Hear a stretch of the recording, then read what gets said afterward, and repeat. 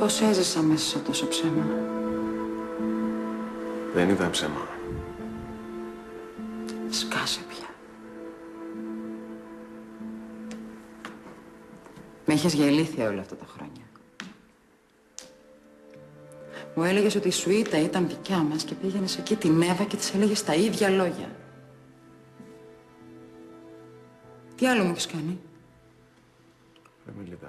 Τι άλλο να περιμένω, τι; Τόσο πολύ με μισούσες; Τι είναι αυτά που λες τώρα; Με ξεφτέλιζες και ερχόσουν να μου κάνεις έρωτα για να μου κάνεις χάρη. Επειδή ήμουν σε απόγνωση. Πώς ζεις με τον εαυτό σου, ρε; Δεν ζω.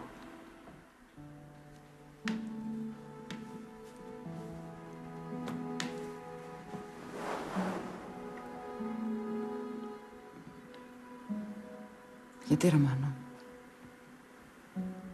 Γιατί τι σου έφταξα εγώ, τι. Στα δώσα όλα. Τι μίσησες επάνω μου, τι. Δεν σε μίσησα ποτέ, Μελίτα.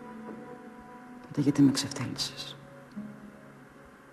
Γιατί με κάνεις να ντρέπαμε που υπήρξα γυναίκα σου; Και να μιλήσω θα με ακούσεις. Όχι πια. Αν δεν είχαμε την Εφέλη, δεν θα ήθελα να σε ξαναδώ ποτέ μπροστά μου. Ποτέ. Με ιδιάζεις μόνο που σε βλέπω. Φαντάζομαι ότι η παρέα σου τα γελούσε πάρα πολύ μαζί μου. Κανένας δεν γελάγε μαζί σου.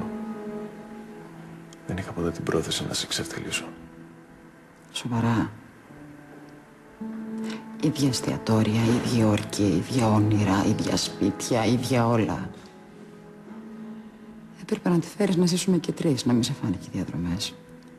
Τι νόημα είχε αυτή η συζήτηση; Αυτό που της δίνω εγώ. Είχες τα πάντα.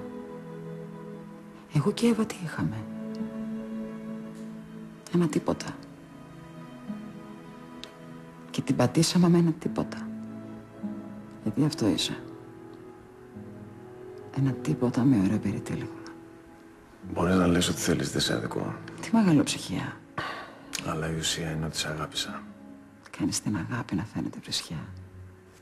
Βρήσα όσο θες. Αλλά η ουσία δεν αλλάζει.